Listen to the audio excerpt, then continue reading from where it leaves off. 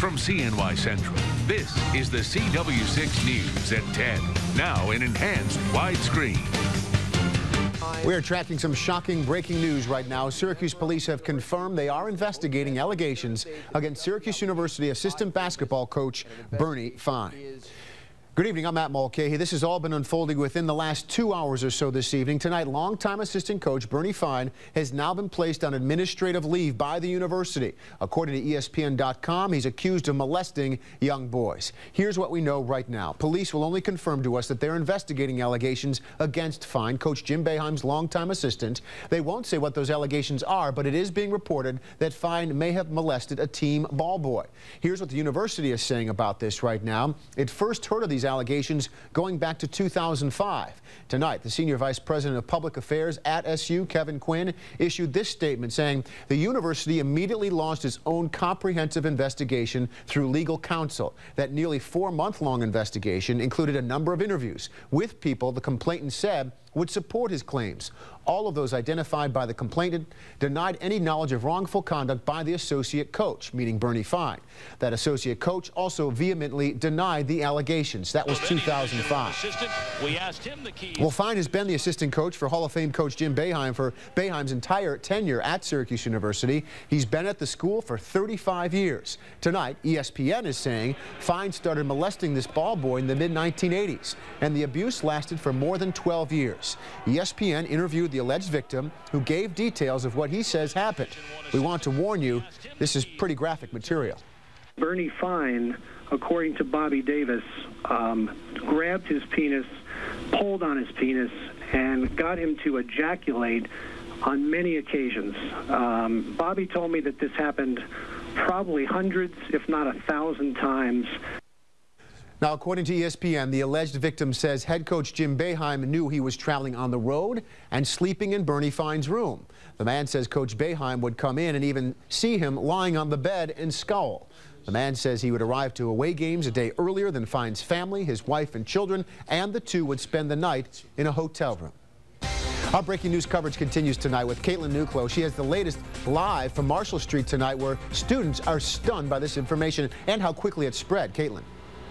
Yeah, Matt, this breaking news certainly spreading very quickly on the SU Hill tonight, and students uh, shocked and saddened, to say the least, about these allegations. It's really amazing how quickly it spread. Nearly everyone we spoke with shortly after that news broke had already heard about the allegations between word of mouth and social media sites. ESPN broke the news late this evening after a victim came forward claiming he was sexually abused by Fine more than 12 years ago. Fine had been an assistant basketball coach for the last 35 years. Now, right now, Syracuse police are looking into these allegations. SU has also investigated and conducted numerous interviews. Students we spoke with tonight say they hope the investigations are thorough and taken very seriously. The Paterno case just um, came out, and all of a sudden, SU is involved in a very similar situation. And I'm just wondering, my first reaction, like, did anybody know about this? Like, how long has this been going on? The whole thing with Joe Paterno just happened. It's so close to to home too. Just being a part of the university, you just never think something like that can happen. I hope it's not true. I hope you know something that comes out and it turns out to be just an allegation. But if it is, you can't hold us to any different standard than you hold them. I just hope to God it's not true. I hope so much it's not true. But I, I hope that with the rumors that the investigation is taken seriously. Right now, Fine has been placed on administrative leave. According to SU, he has strongly denied these allegations. Reporting live from the SU Hill tonight, I'm Caitlin Nuclo. Thank you, Caitlin. Now, just yesterday, Syracuse University Chancellor Nancy Cantor sent an email to faculty, students, and staff with advice on what to do if you see or suspect child abuse. She told everyone to call 911, Child Protective, or the school's Department of Public Safety should such a case arise. Of course, all this comes as scandal is rocking the Penn State football program. An assistant coach there, Jerry Sandusky, is accused of abusing at least eight boys over 15 years. Head coach Joe Paterno was fired after allegations he was told about the abuse abuse and that he didn't do enough to report it. Well, the Penn State scandal has brought this issue to the forefront, has everyone talking, including a potential second victim in the Bernie Fine case.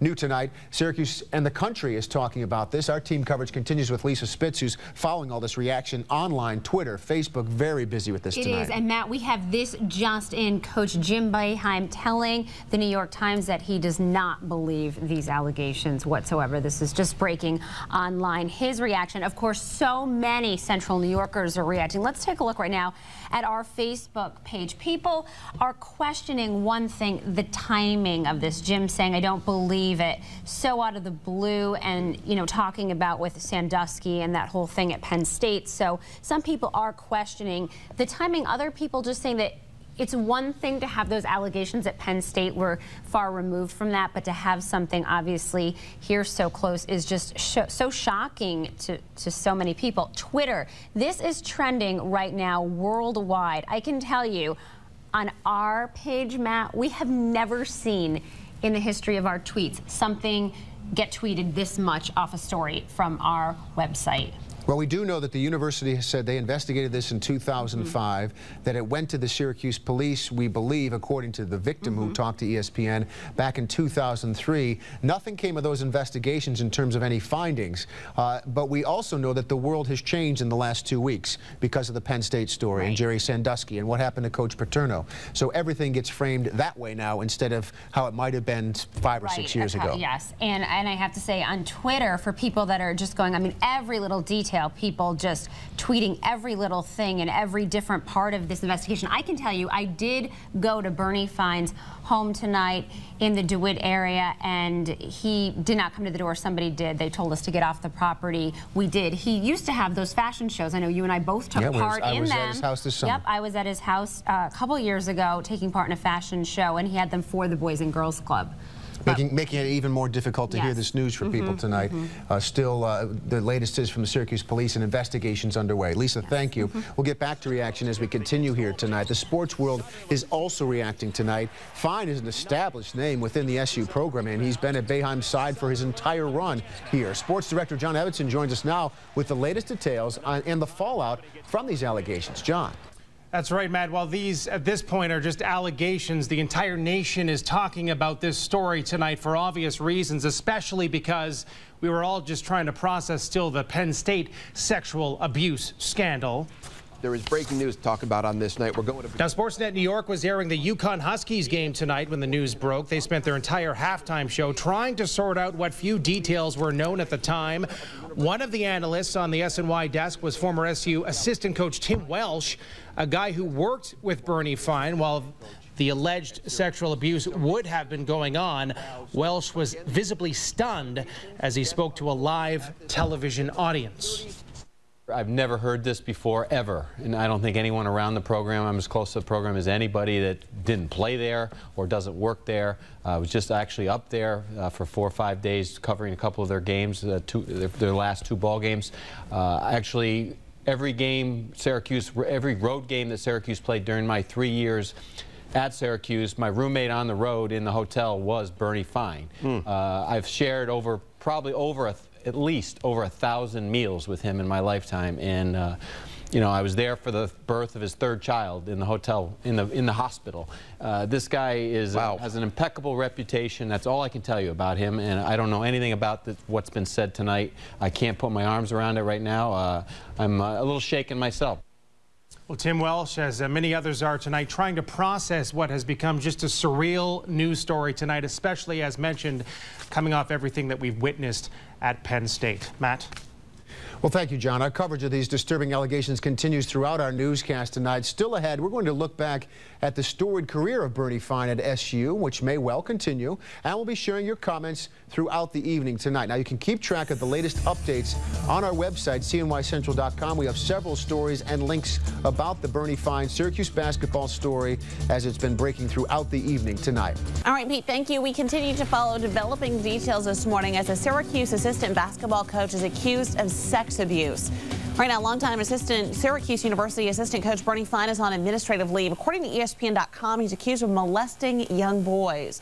Here's what we know right now. Police will only confirm to us that they are investigating allegations against Bernie Fine.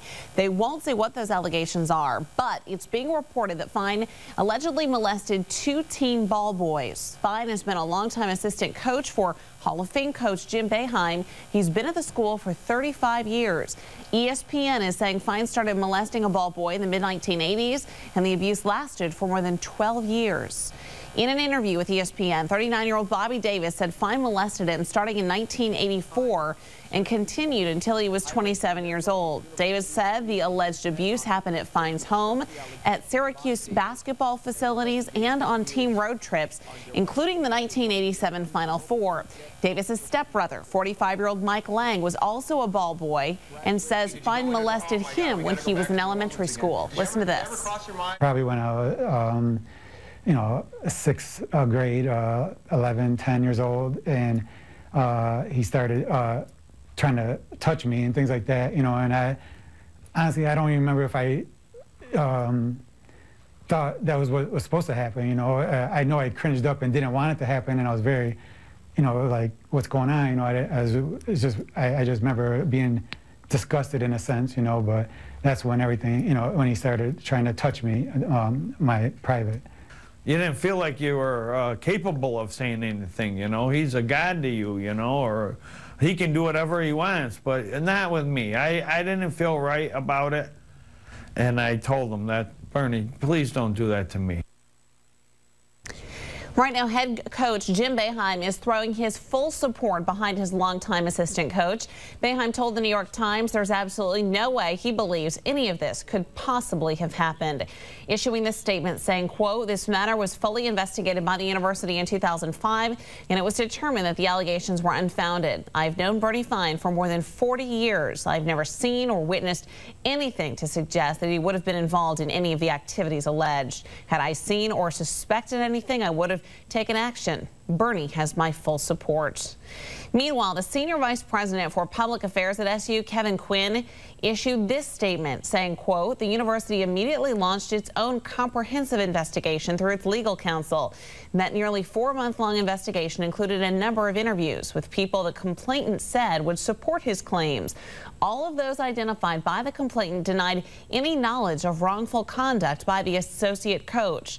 The associate coach also vehemently denied the allegations. As you might imagine, this story has been shocking a lot of students up on the SU campus, and it's what everybody's talking about today. Our Lisa Spitz is live at Stella's Diner in Syracuse now with more reaction. Lisa, what are people saying today? Megan, these allegations are what folks are talking about as they have their breakfast this morning at places like Stella's Diner here in Syracuse. They're reading the paper. This, of course, is the front page headline here on the Post Standard. SU benches fine over abuse claim. I did speak with some folks this morning, a short time ago, as they were having breakfast, and they told me that they hope that these allegations were really investigated even before they were made public because they said even allegations, even if they're unfounded, can ruin somebody's life. It's not also what people are talking about this morning. It's going to be the big story when people get to work today. The news spread all across Syracuse University in central New York last night. Fine, of course, is a longtime assistant coach at Syracuse University. The two who have accused him are former ball boys, now in their 30s and 40s. Last night, I did go to Fine's house. He did not come to the door, but somebody did. They told us to leave, but really, these allegations are just shocking to students and a lot of people we've spoke with. The Paterno case just um, came out, and all of a sudden, SU is involved in a very similar situation. And I'm just wondering, my first reaction, like, did anybody know about this? Like, how long has this been going on? The whole thing with Joe Paterno just happened. It's so close to to home too. Just being a part of the university, you just never think something like that can happen. I hope it's not true. I hope you know something that comes out and it turns out to be just an allegation. But if it is, you can't hold us to any different standard than you hold them. I just hope to God it's not true. I hope so much it's not true. But I, I hope that with the rumors that the investigation is taken seriously. The with a low in the lower 30s. And then Saturday, sunny. Again, people I spoke with here this morning really still are just expressing shock over this, just coming off the Penn State sex abuse scandal there. But this is closer to home, and people are still shocked. We'll have reaction throughout the morning. We're live in Syracuse. Meg, back to you. All right, our Lisa Spence live for us there at Stella's Diner with reaction now this morning. Thank you. Well, right now, everyone across the country is talking about this story. It actually became a trending topic on Twitter last night as the story broke, and it continues to be a hot topic this morning. We, of course, will be updating our Twitter account with the latest information as it comes into our newsroom. Of course, all of this comes as the scandal continues to rock the Penn State football program. An assistant coach there, Jerry Sandusky, is accused of abusing at least eight boys over 15 years. Head coach Joe Paterno was fired after allegations after uh, uh allegations he reportedly was told about the abuse and didn't do enough to report it. We, of course, will have continuing live team coverage of this developing story throughout our newscast this morning. You can also follow us on Facebook uh, and on Twitter for the latest updates. Back to that. Good evening. I'm Jackie Robinson. Details continue to break tonight into disturbing allegations against Syracuse University assistant basketball coach Bernie Fine. Tonight, he says the sexual abuse accusations against him are patently false. Meanwhile, police are expanding their investigation. Our extensive breaking news of the investigation continues tonight. Matt Mulcahy is live at the Carmelo Anthony Center at Syracuse University with the latest breaking details. Matt. Well, Jackie, this story has developed hour by hour by hour after it first broke last night, just after 7 o'clock. We're here live at the Carmelo K. Anthony Center at Manley Fieldhouse on the Syracuse University campus. The Syracuse University Orange basketball team is practicing inside right now for the first time since these allegations surfaced. Coach Jim Boeheim is inside. Uh, Bernie Fine is not inside as he has been put on administrative leave. His attorney put out a statement on his behalf late today, and in that, as Jackie just mentioned, Fine said that these allegations are patently false. The statement goes on to say, sadly, we live in an allegation-based society and an internet age where in a matter of minutes one's lifelong reputation can be severely damaged. I'm confident that as in the past, a review of these allegations will be discredited and will restore my reputation. That's coming from Bernie Fine. And then also a late development today, late in the afternoon, Syracuse police released a statement asking anyone with information about past or even recent sexual abuse cases involving Bernie Fine to contact the Syracuse Police Department. The phone number is 442-5222. This is the first reference to the possibility of recent victims in this investigation. In the statement, officers say the sexual abuse allegations occurred many years ago, but were brought to the department just yesterday. Police say the Syracuse Police Department has a responsibility to thoroughly investigate all of these investigations. Now, the purpose of this investigation is to determine if there had in fact been any sexual abuse in the past and if there are any current victims in this case. Another piece of this story that's developing tonight is from the Onondaga County District Attorney, who has raised concerns about the fact that he was not notified about these prior investigations, first by the Syracuse police and secondly by the university. Jim Kenyon's been following that angle tonight. Jim? Well, Matt, I had a phone conversation with Bill Fitzpatrick today, and it was very obvious from my conversation with him. He is very unhappy with the way these allegations were investigated by both the Syracuse Police Department and Syracuse University, and he says it, they apparently have violated a protocol in the way that uh, allegations of this nature are to be investigated. Bernie Fine's main accuser, Bobby Davis, says he went to Syracuse police in 2003 and told them he had been repeatedly molested. But he also says the investigator told him that because the incident supposedly took place as far back as the mid 80s, the statute of limitation had run out and police could do nothing. Davis says he then went to Syracuse University in 05 with the same allegations. SU says it conducted an extensive investigation but could not corroborate the accusations. What concerns District Attorney Bill Fitzpatrick is that in both instances his office was not notified, a violation of protocol. What concerns me about is why my office wasn't notified. Uh, anytime there's an allegation of sexual abuse, we have protocols that are in place we have uh, we've worked for years to put safeties in place. We have a uh, specially trained abuse persons unit. The DA says that now the police have reopened their investigation, he intends to thoroughly review their findings. But he too feels the passage of time could make prosecution impossible. Admittedly, based on these two individuals, there's nothing that I could do in terms of prosecution uh, because the statute of limitations has run. However, offenders uh, who commit acts of molestation on children don't stop. And we would certainly want to have been involved to see uh, if there were any other people at risk and then to see whether or not these allegations uh, were accurate. District Attorney Fitzpatrick says he owes it to both Bernie Fine, who he says proclaims his innocence, and his accusers to conduct a complete and thorough investigation. And we're, back live here, and I did contact uh, the Syracuse police spokesman, Tom Kellen, Connellan, to respond to uh, Fitzpatrick's claim that they may have violated protocol by not notifying his office. Uh, Connellan says that he expects they will respond, but not at this time, and New at 6 will get Syracuse University's response to the same claim by uh, Bill Fitzpatrick. One of the concerns certainly raised community-wide and nationally is can there be an impartial investigation here? Uh, the police chief, uh, at the time of these original allegations, was Dennis Duval, an Right. all All-American here at Syracuse University, played right there in Manley Fieldhouse when Boeheim was an assistant. Were you able to reach him today? Uh, I did uh, leave uh, messages at his uh, business in Syracuse. He has not responded to me. And and what about this idea of, of a cover-up? What's the DA saying about that as a possibility at this Well, he doesn't feel that uh, that there's necessarily a cover-up. He just feels that they should have brought his office into it. He is the top. Uh, law enforcer in Onondaga County, and crimes of this nature require that his office be notified. Uh, he did note today, though, that uh, that uh, both uh, uh, Bobby Davis and his stepbrother Mike Lang were interviewed by Syracuse police last night, so they are back on this case. All right, thank you, Jim. More in a little while. Speaking of Bobby Davis, one of the accusers, he's been speaking publicly through ESPN, doing interviews with Mark Schwarz, who is the one who broke this story. 39-year-old Bobby Davis says the molestation started in 1984 and continued until he was 27 years old. Davis says it happened in Fine's home, at Syracuse University basketball facilities, and on team road trips.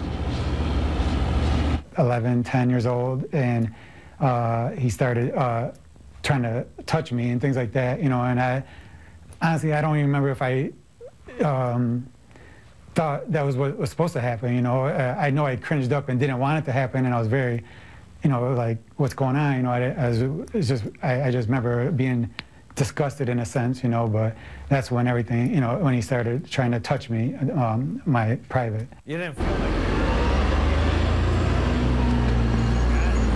Davis's stepbrother, 45-year-old Mike Lang, also says Fine molested him while in elementary school. Lang was also a ball boy. He's the second accuser to come forward, which led to this being publicized last night. Now, Davis's former girlfriend, Danielle Roche, is also supporting claims tonight.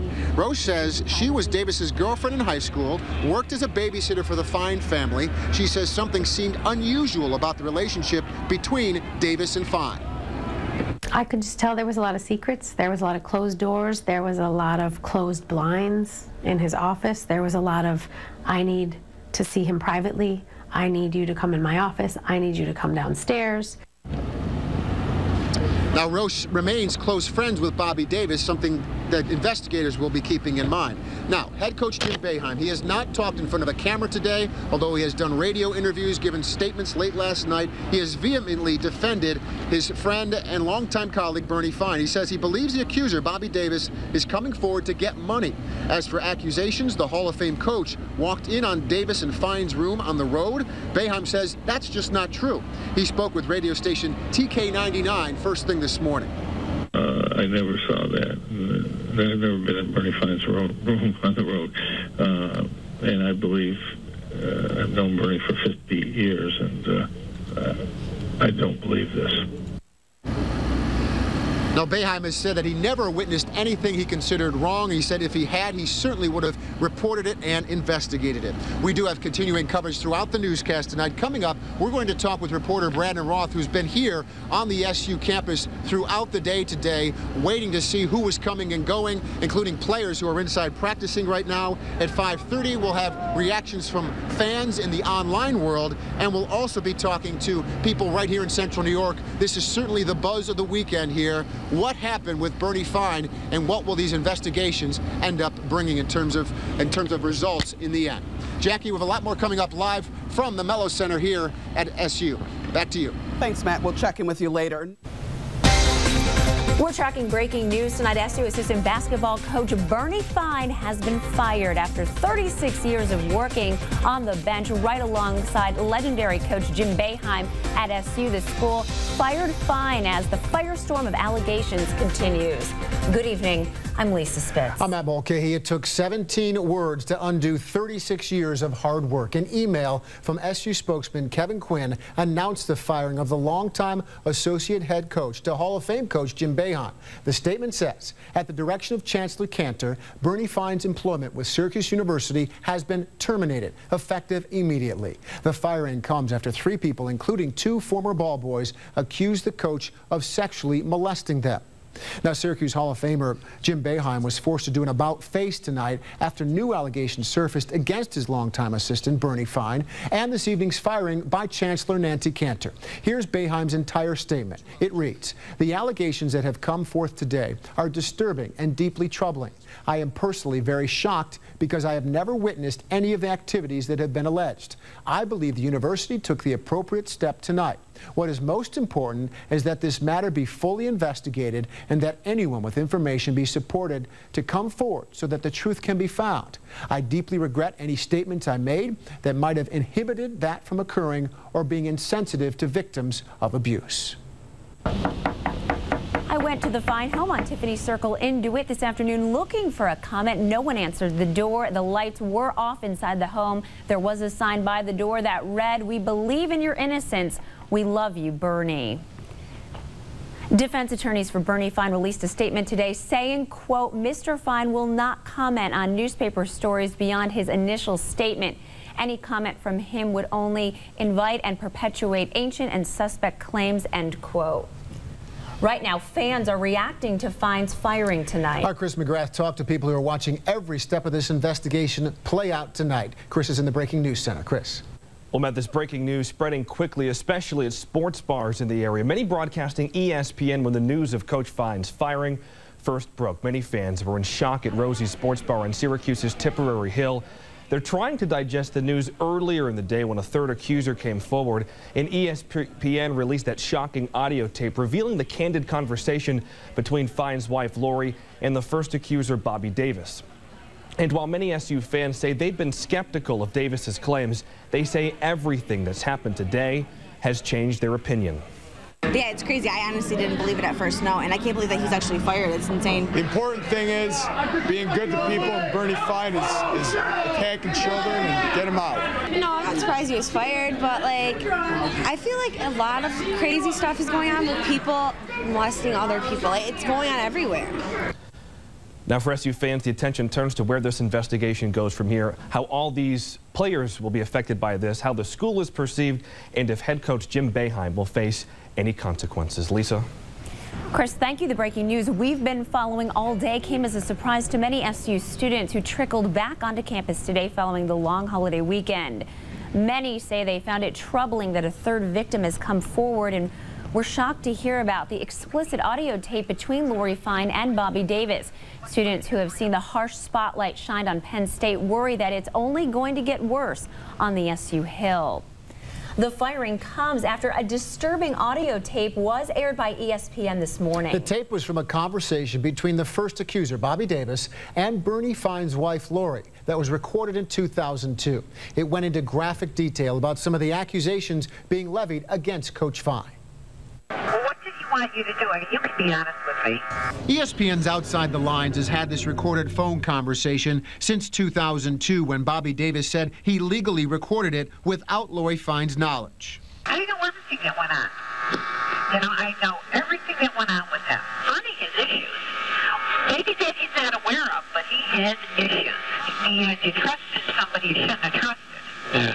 Bonnie is also in denial. I think that he did the things he did, but he somehow, through his own mental telepathy, has erased them out of his mind. The ESPN report recalls Bobby Davis first staying in the Fine's home as a seventh grader. On the recording, Lori Fine is asking whether the contact between her husband and Davis included oral sex. They also talked about a time in the 1990s when a 27-year-old Davis asked Bernie Fine for $5,000 to pay off college loans. When he gave you the money, he want for that? He wanted you to grab her, or he wanted to do you? He wanted to do me. Oh, Well, he wanted me to touch him too. He tried to make me touch him a couple times. He grabbed my hand and then I pull away and then he put me in your bed and then, you know, put me down and I tried to go away and he put his arm on top of my chest. He goes, if you want this money, just stay right here, you know. Right, right. He just has a nasty attitude because he didn't get his money, nor did he get what he wanted. He didn't get No, it's not about the money. It's about the you know that. so you're, I'm just telling you for your own good, you're better off just staying away from him. It's explosive material. At one point, Lori Fine says explicitly about her husband feeling like he would not get caught. Quote, he thinks he's above the law. SU responded to the tape as Chancellor Nancy Cantor talked to the entire SU community saying that they did not know about the existence of a tape when the school conducted its own investigation back in 2005. And to watch more of the ESPN Outside the Lines coverage, go to our website, cnycentral.com. And our latest Bernie Fine story directs you there. You can also find the entire letter from Chancellor Cantor there as well. Tonight, District Attorney Bill Fitzpatrick is talking about the tape. He says his office got a copy of the audio tape about a week ago from police. After that, he says that's when the Syracuse police chief stopped keeping his office in the loop with the investigation. And here's what Fitzpatrick had to say about today's developments. Quote, I think number one, it's a validation of what Bobby Davis said. As importantly, it's an appropriate reaction from Syracuse University, end quote. Now, meanwhile, the third accuser also claimed that Coach Fine sexually molested him. Zach Tomaselli says he and his father met Bernie Fine at an autograph session in 2001 when he was 13 and was invited to travel to Pittsburgh to watch the Orange play in Pittsburgh that season. Tomaselli says he spent the night in Fine's hotel room where Fine had him watch pornography and sexually abused him.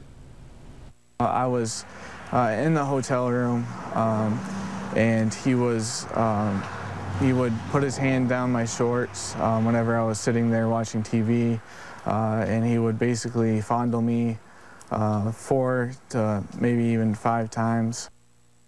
Zach Tomaselli's father says his son is lying and never went to Pittsburgh with SU. Zach Tomaselli is also facing several child abuse charges himself in Maine, stemming from an incident at a summer camp where he worked. Reaction is going to continue to pour in from all parts of central New York. I spoke with one man who talks a lot to local sports fans. So Brent Axe joins us now, and, and Brent, you, you heard about the firing this evening. What was your first thought? Were you surprised that this happened so quickly? I honestly wasn't surprised, man. I mean, it seemed like it was going this way in some capacity. Maybe not fired this soon, but you just kind of were under the assumption that Bernie Fine wasn't going to coach again. There was just too much going on, too much already out there, and we knew there was more coming. So I wasn't surprised uh, that this went down at all, to be honest. What are you expecting to hear from your listeners on the radio tomorrow about this? What will the reaction be? I think the reaction going to be what it's been so far. They want to know what else is out there. What don't we know right now? I think that my listeners have been very you know, critical of the media coverage from ESPN and from some national outlets. What do they know? And you know, now that another thing is kind of it's it's been trickling out, Matt. I think the listeners going to be like, okay, well, what do these guys know? Let's get it out there.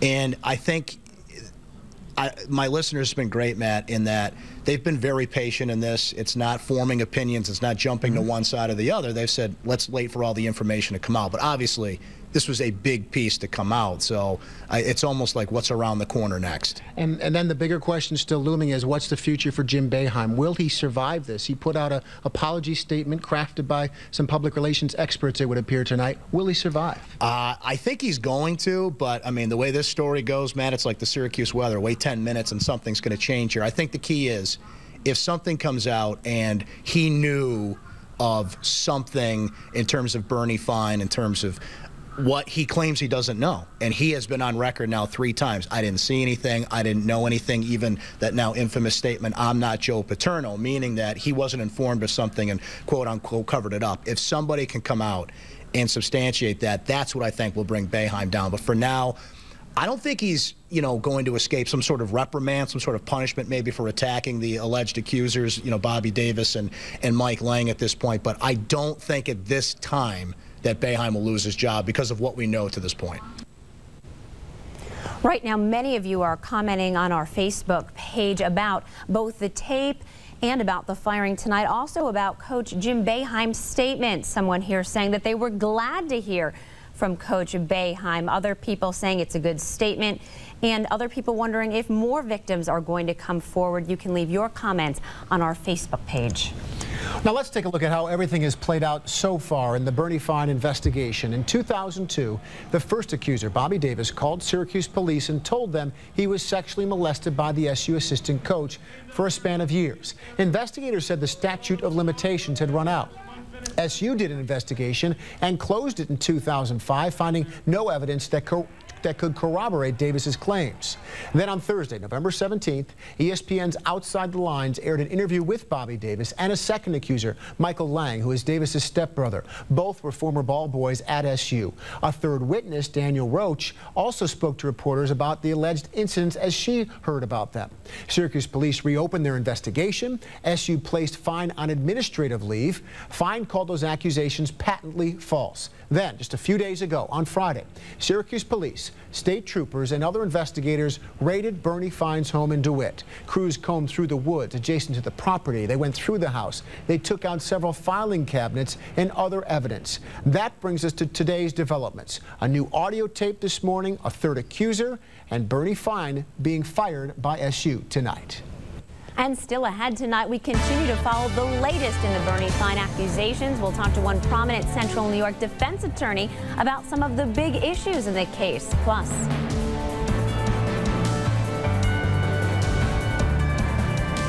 how does the team cope with this new development and everything that we've you know, been sure. I think, today. Yeah, it remains to be seen. I think it's still very likely that uh, this is one of the very best teams, if not the best team in the country. And lost in it all, the Orange are still undefeated. We'll talk to the voice of the Orange, Matt Park, about how the team will react to Fine's firing. There's no doubt in my mind that if presented with these two victims today, then the statute of limitations had not run. There would be criminal charges against Bernie Fine Strong words from Onondaga County District Attorney Bill Fitzpatrick. Tonight we have a detailed look inside the Bernie Fine investigation. NBC 3 News at 5 starts right now. From CNY Central, this is NBC 3 News at 5 in enhanced widescreen. Voted Best Newscast by the Syracuse Press Club. Good evening, I'm Matt Mulcahy. And I'm Jackie Robinson. District Attorney Bill Fitzpatrick says he can't bring Bernie Fine to justice for two men who say they were abused by the former Syracuse coach. But today, Fitzpatrick stood up for those accusers, saying they did the right thing. The two men at the center of the case, Bobby Davis and Mike Lang, say that Fine started molesting them when they were ball boys with the team. Fitzpatrick says their claims are credible, and the only thing stopping prosecution is that too much time has passed. Fitzpatrick talked in depth about the case today, including how he looks at the investigation. Jim Kenyon was at the DA's news conference today. He joins us live from Syracuse University with details on what the DA had to say. Jim? Well, you know, Jackie, the fact that the DA would find that uh, because of the statute of limitations, they could not prosecute Bernie Fine over these uh, sexual abuse allegations. It really comes as no surprise. We've been reporting this since day one. But uh, as you heard, the DA uh, did say that had uh, the accuser here, Bobby Davis, come to him earlier, Bernie Fine would have been arrested and put on trial. Crises have a tendency to... With media from across the country in attendance, District Attorney Bill Fitzpatrick says he was fulfilling a promise to report to the community about his investigation into Bernie Fine. But for the obvious problem of the statute of limitations, their allegations would have resulted in the arrest of Bernie Fine. Fitzpatrick said when ESPN reported that former ball boys Bobby Davis and Mike Lang alleged that former coach Bernie Fine had abused them in the mid 80s, as prosecutors, the DA's office had to get answers to three questions.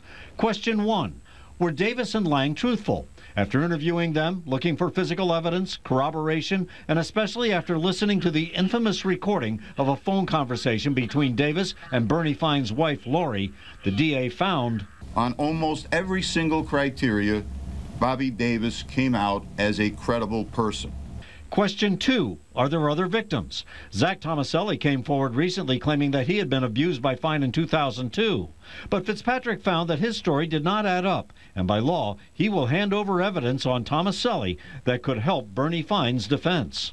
I have and will be providing Bernie Fine's defense counsel with records we have obtained. The DA said he looked into reports of a fourth victim reported by the New York Daily News, an unidentified man doing a life sentence as a persistent felon. There simply is no victim number four. Question three. How were the investigations by the Syracuse Police Department and Syracuse University handled? Fitzpatrick again criticized Syracuse police for not cooperating with his investigation, but he found that there was no evidence they purposefully buried Bobby Davis's complaint to them in 2002. The DA was critical of the investigation launched by Syracuse University in 2005 when it commissioned the law firm of Bond, Schoeneck and King to investigate Bobby Davis's allegations. The DA said the law firm was not equipped to investigate child abuse allegations and failed to report anything to the DA's office. But Fitzpatrick stopped short of accusing SU of an institutional failure. Did you feel that they had an obligation to contact you? Well, there's a legal obligation, no. Uh, did they have a common sense obligation, a professional obligation? Absolutely. Why wouldn't you? So you isn't that an institutional failure? I think it. Uh, I think it's a, a, failure in trusting the report. I, I don't. I don't know that it's a, a, quote institutional failure. I wouldn't go that far. Now, the uh, Bond, Schoeneck and King law firm has deferred comment to Syracuse University. They have not yet uh, commented uh, to us, but Chancellor uh, Nancy Cantor has said in the past that uh, when Bobby Davis came to them in 2005, he told them they had gone to the police three years earlier, so they naturally assumed that the district attorney's office had been clued in.